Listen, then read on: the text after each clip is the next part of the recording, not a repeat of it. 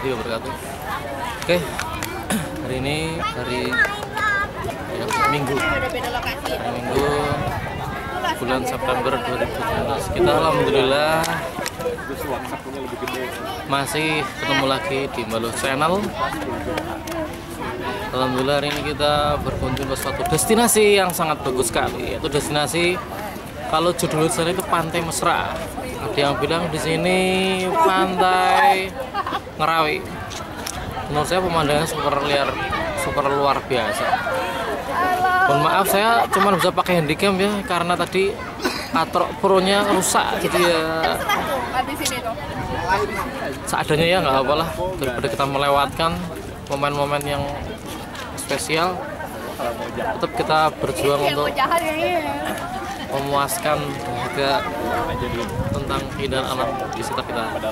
Oke ya kita akan melihat shoot ke sekitar lingkungan sini. Oke mari kita lihat ke sana. Oke. Beginilah lingkungan di sekitar pantai Ngerawi. Yang saya juga baru dengar kali ini ternyata bagus sekali terdapat banyak sekali itu gazebo-gazebo yang berisi orang pada berjualan. Tadi saya dapat cerita katanya nih pemiliknya ini membeli lahan ini seharga 5 miliar. Wow cukup luar biasa ya. Lihat pemandangannya modelnya untuk membuat ini termasuk luar biasa. Dan ada rumput-rumput ini kayak rumput-rumput di Italia ini apa rumput Jepang. Luar biasa kreatif.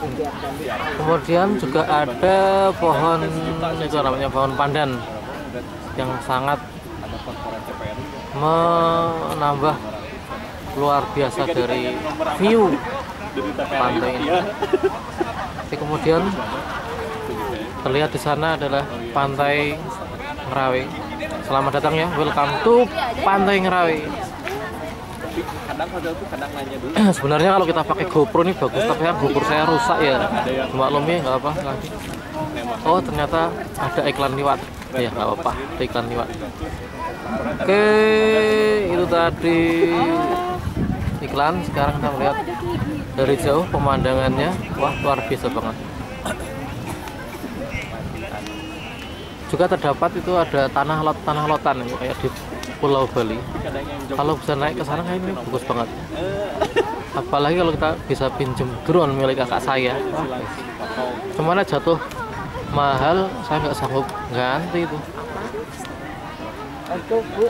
Juga terdapat banyak tempat duduk yang kayak di taman-taman kota. Kayak di pantai-pantai di Bali itu loh kayak resort. Cottage dan macam-macam. Jalan-jalan itu dipanggil ke sana. Oke, mari kita mendekat ke pantai dari jarak yang lebih dekat dari. Oke, kasih. Sampai jumpa lagi di sana. Ayo, mari kita ke sana. Oke, kita lihat view-nya ke arah sekeliling.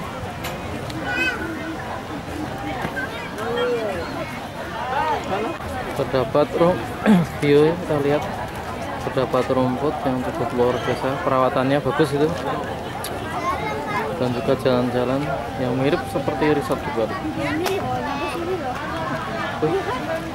Dan juga ada yang cukup spesial tuh ada orang pakai sepeda sampai ke pantai ini.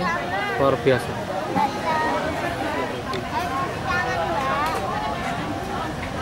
Ya ya kita lihat ya. Sampai. Jumpa lagi di Oke sekarang kita posisi di dekatnya pantai dari Pantai Ngerawe ya. Alhamdulillah kita bisa mendekat di sini dari titik yang terbagus terbaik. Mari kita lihat lebih dekat ke arah pantai tersebut ya. Oke inilah dari dekat terlihat para pengunjung pada berdatangan. Semakin sore semakin banyak dan juga ada pasangan muda-mudi dan selamat datang di Pantai Ngerawe yang semakin sore ini kan semakin ramai dan juga mulai agak surut. Juga terlihat teman-teman kita mereka sedang berfoto-foto ria. Oke nggak tahu mereka di antaranya ada Mbak Ristin ada Mbak Dinar ada Mbak Melisa ada Mbak Rela Renata Trisantoso. Oke, terlihat itu ombaknya luar biasa. Dan tanah lotnya itu loh, hujan, keren habis tanah lotnya, top banget. Terlihat itu ada pasangan muda-mudi sedang bergandengan tangan. Saya juga kepingin, waduh, Allah, aduh, aduh, aduh, aduh, aduh, saya nggak mengalami itu jamur muda saya, kasihan banget. Mungkin saya kategori yang culun kayaknya, jadi saya nggak bisa, nggak ada yang mau, kasihan bingit. Wah dari sana terlihat pantai yang super luar biasa keren. Top top top top top abis.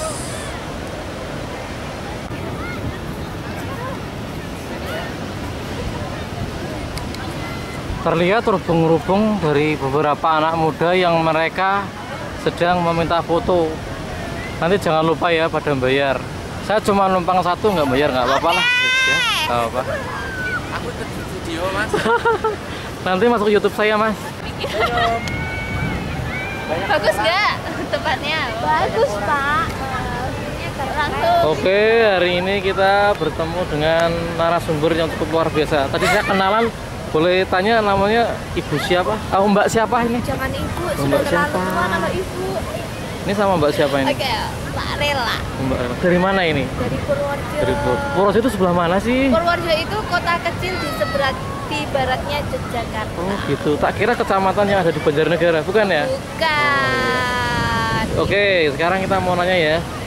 Eh, bisa tahu ada pantai ini pertama-tama dari siapa? Dari Instagram. Instagram. Kan anak hits, jadi harus lewat Instagram. Nah, dari Instagram itu kita mengikuti mana sih tempat-tempat pariwisata yang keren-keren yang hits gitu. Oh, ini di sini acara sendiri apa acara bareng-bareng apa Eh, gimana? Ini acaranya dari sekolah Family Gathering. Ya. Oke, terus kemudian selain itu mau nanya lagi gini. Dengan yang digambar di Instagram itu dengan yang kenyataannya itu gimana? Ya 90% Realnya. ya. 90%. Oke, tapi agaknya ini pembangunannya belum selesai ya. Itu soalnya banyak yang belum diselesaikan pembangunannya. Oh gitu. Semoga ke depannya itu bisa lebih bagus, lebih tertata. Mau minta ditambah fasilitas apa aja kira-kira? Bagusnya ini ada gazebo-nya. Gazebo. Gazebonya di sini ya? Ya, di Tempat sini berteduh gitu ya? Buat berteduh. Kemudian ada apanya lagi ya? Harusnya ada tim sarnya sih ya, Pak. Soalnya Oh, gitu. kalau air pasang kan pasti yang di karang-karang kesulitan teman. Mengerikan ya.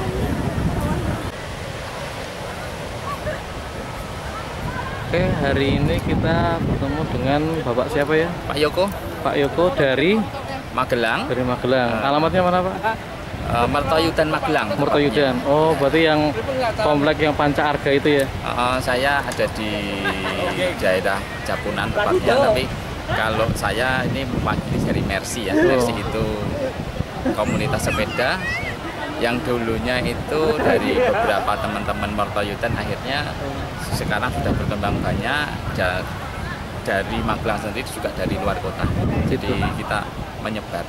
Di situ Mercy itu wadah eh, dari para sepeda, pesepeda itu penggemar sepeda, mulai dari road bike, MTB, Shelly, dan lain-lain. Ada Berarti nggak cuma satu model aja ya? Ya, jadi Berarti- kita itu di situ more, jadi pesi- more ya banyak, Banyak. banyak. Itu jadi untuk Mercy sendiri itu agenda goes, Iya. gubar istilahnya goes bareng, istilahnya gubar ya, Gubar. gubar itu goes bareng itu eh, dalam satu bulan dilaksanakan dua kali berarti setiap dua minggu sekali kita mengadakan gubar. Kalau yang untuk ini di kita di Pantai Ngerawe hari Ya, ini pertimbangannya mengambil destinasi, destinasi ke sini kenapa Pak? karena satu kita pengen untuk memunculkan destinasi di sini baru dan juga untuk memotivasi bahwa kita jauh ke sini itu bukan hanya untuk wah tapi kita mencoba diri kita itu kita dengan semangat kita itu mampu tidak diri kita itu tapi dengan dengan cara tidak memaksakan diri Terus kemudian ini kan terutama Bapak yang destinasi yang baru gitu ya. ya Bapak pernah terpikirkan karena saya dari Purworejo, pernah nggak terpikirkan mencari destinasi di Purworejo itu? Oh gini, jadi kita sebetulnya untuk Purworejo itu sudah ada agenda, Sudah ada. ada ada ada agenda. Jadi eh, ada tiga pertimbangan kemarin yang yang kita ada pilih itu mau ke pantai Purworejo itu pantai apa di sana itu eh, saya lupa itu Jadi Malang. Jatimalang Iya. atau ke pantai Gunung Kidul ini Iya. atau ke daerah barat lagi Oh, Pantai Menganti Kebumen. Ya, Iya, betul. Iya. Terus iya dan ini yang super terakhir Pak. Ya. Kalau berkenan, kebetulan saya punya channel YouTube ya Pak ya. Ya. Itu terdapat banyak sekali destinasi wisata, Hmm. terutama di Purworejo dan sekitarnya memang ada. Jadi itu itu mungkin bisa menjadikan referensi Pak. ya Mohon maaf kalau berkenan, mohon di subscribe ya Oke. channel dari saya. ya Sekian terima kasih wawancaranya. Semoga nanti acaranya lancar. Kemudian pulang sampai alamat ke rumah masing-masing tidak arah satu apa pun. Amin.